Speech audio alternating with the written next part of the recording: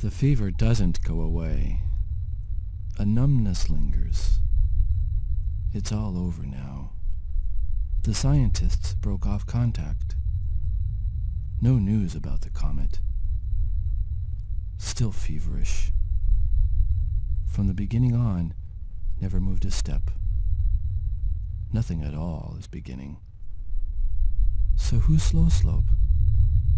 No way of knowing now. Música